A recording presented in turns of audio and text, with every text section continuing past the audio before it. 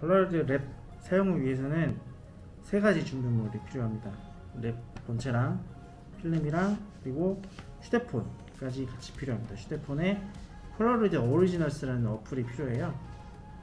어플은 앱스토어나 안드로이드 이제 거기서 각자 폴라로이드 오리지널스 검색하면은 이렇게 생긴 어플을 다운받으실 수가 있습니다. 여기서 이제 요 랩 버튼을 통해서 휴대폰에 있는 사진을 요 랩, 요 출력기로 똑같이 뽑아내는 방식입니다. 자, 랩은 먼저 옆에 있는 측면에 전원 버튼을 키면은 얘가 알아서 올라갑니다. 머리가. 이제 랩 덮개를 열고 그 다음에 뒤에 배터리 상태를 확인해 주고요.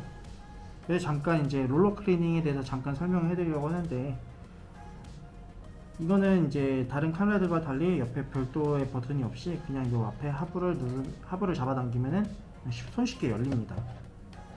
이 상태에서 카메라와 마찬가지로 알코올 솜이나 젖은 천을 이용해서 이 롤러를 닦아주고 마른 천 아니면은 그냥 자연 건조와 같은 방식으로 롤러를 다 정리해 준 다음에 사용하시면 되겠습니다. 카메라에서는 똑같이 필름 삽입 방법은 어렵지가 않습니다.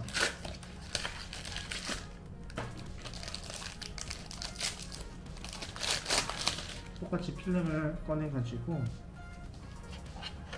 내부 구조는 카메라랑 똑같아요. 이 필름 삽입하는 구조는 끝까지 넣어서 덜컥 소리가 나거나 여기가 좀 헐렁해지면은 끝까지 정상적으로 잘 필름이 들어간 겁니다. 그래서 닫으면 똑같이 카메라처럼 위에 커버가 나오겠죠. 그러면 이 앞에 지금 8개 구 안에 좀 다 점등이 되어 있습니다. 지금 8장 다 뽑을 준비가 되어 있다는 거고요. 이제 어플을 연동해서 휴대폰 안에 있는 사진을 폴라로이드 랩으로 뽑아드리는, 뽑아주는 과정을 설명해 드릴게요. 일단 랩을 키면은 자동적으로 여기 자동적으로 재생되는 동영상 안에서 어떤 방식인지는 쉽게 좀 이렇게 나타내 보여주고 있어서 아마 누구든 보시면 이건 쉽게 이해하실 수 있을 거예요. 여기 하단에 있는 이제 원스텝 플러스 랩, 뭐 AR viewer, 스캐너 뭐 여러 가지 기능인데 이 중에서 저희는 랩을 들어가 주십니다. 그럼 바로 이렇게 사진을 선택할 수 있는 이제 이 화면이 뜨는데 먼저 여기 위에 있는 버튼들 좀 설명드리면은 이거는 여기 위에 컬러 필름으로 되어 있는데 이거는 지금 사용하시는 필름에 따라서 여기서 올, 만, 자기가 사용하는 맞는 필름을 선택해 주시면 됩니다. 저희는 지금 아까 전에 600 필름을 넣었죠. 그렇기 때문에 이 컬러 필름을 선택해 주시고요. 옆에 있는 이 버튼은 뭐냐면은 노출이랑 색감을 세팅해 주는 겁니다. 자기가 원하는 이제 그런 본인의 취향에 따라서 노출 값을 설정해 주거나 색감에 이제 좀 더 뚜렷하게 보여줄 수 있도록 색감을 설정할 수가 있습니다. 기본적인 세팅은 0이랑 50의 기준점으로 맞춰져 있습니다. 자, 이 상태에서 여기 앞에 있는 버튼을 눌러주면은 자기 이제 휴대폰에 갤러리 화면이 뜨는데요.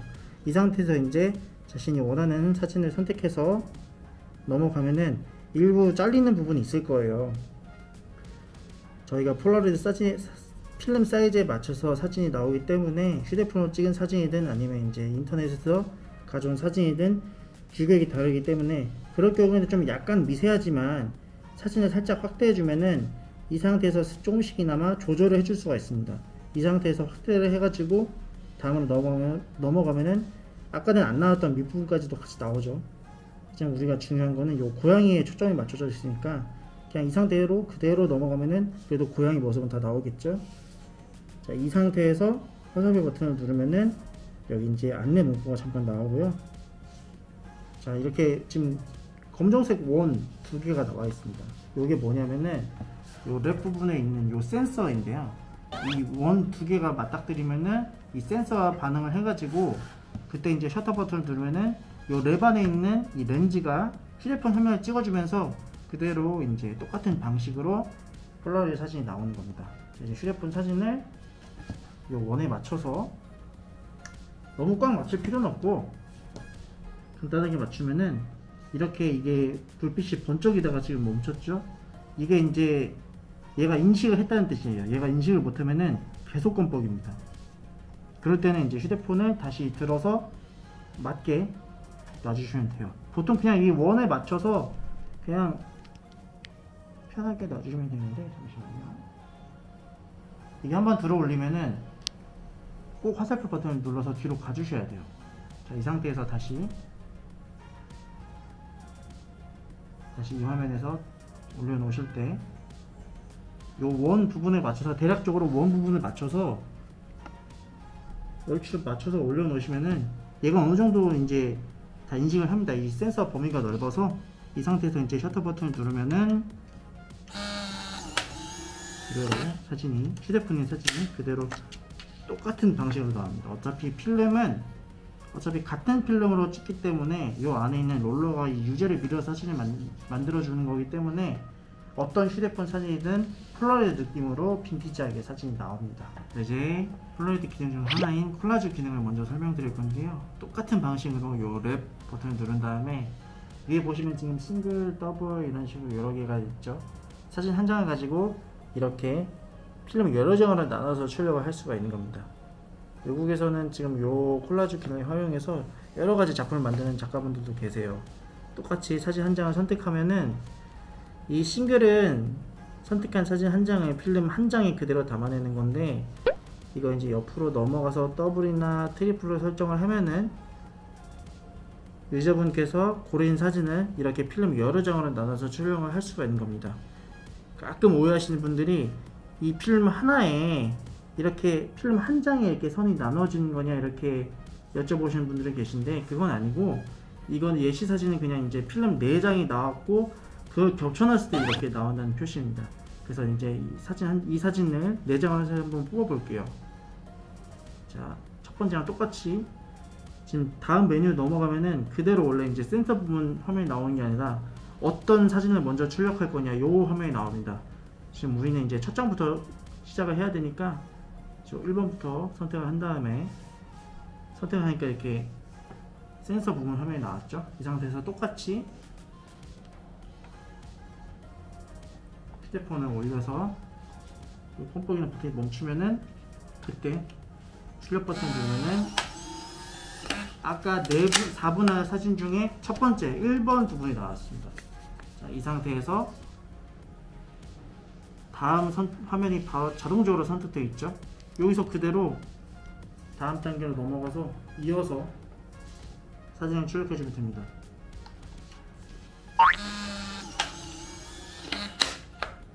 이번 사진까지 나왔고 역시 3번 사진까지 이렇게 선택이 다 자동적으로 되어 있죠.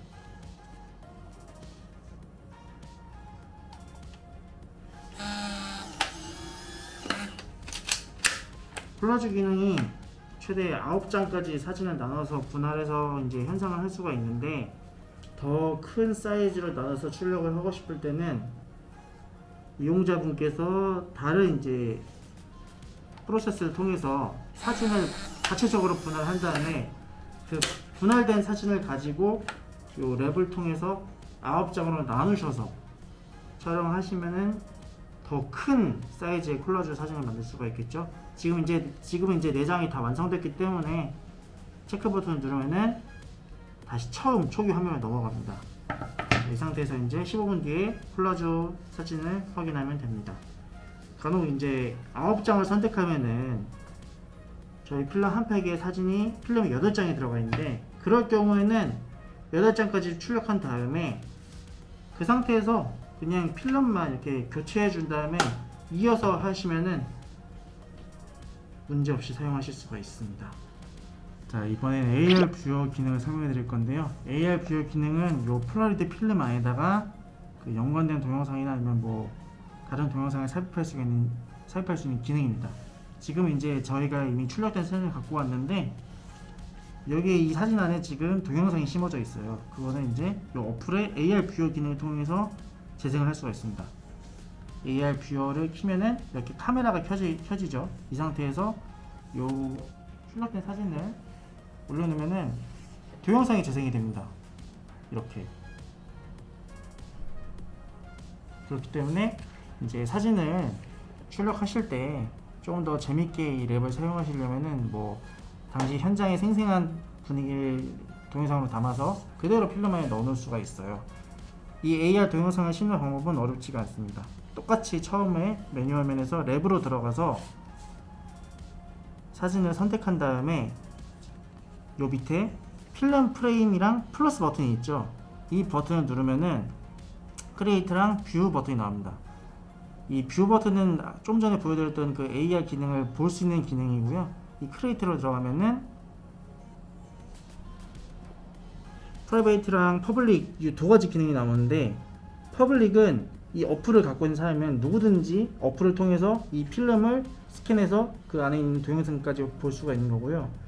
위에 있는 거는 이 어플에 이제 serial 고유 serial 번호가 찍혀서 나오는데 그 이 사진을 만들어낸 휴대폰으로만 볼 수가 있습니다.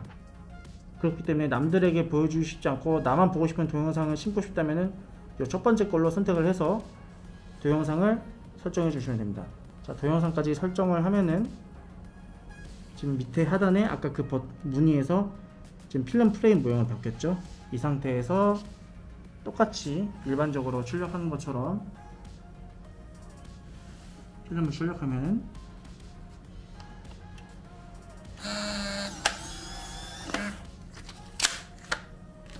동영상이 심어진 필름이 출력이 됩니다.